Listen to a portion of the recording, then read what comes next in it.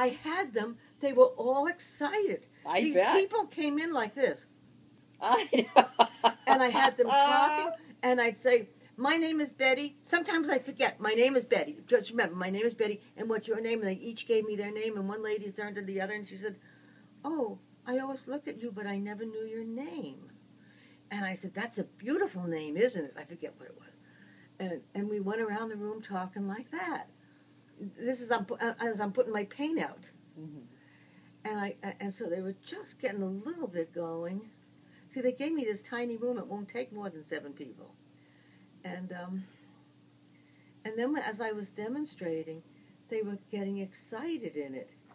And then finally, at the end, one man who was like this in the beginning, he's like this, a heavy man in a chair. He said, "How much you want for that painting?" I really then I knew I had him. Yeah. And I said, "It's his name is Dale. It's yours, Dale. You can have the painting. You really turned. Uh, that's the one I have on Facebook page. Wow. And I got so. I've never had a site. So many people have hit in on that, Yeah. and it was only for seven people. It was just never meant. And uh, the comments, but I think we're all relating. And Fitzy Westman, I had him as a child. Now he's a college professor.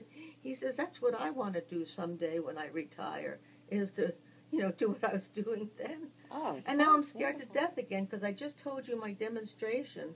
I haven't even got the whole key though is to get get a good drawing.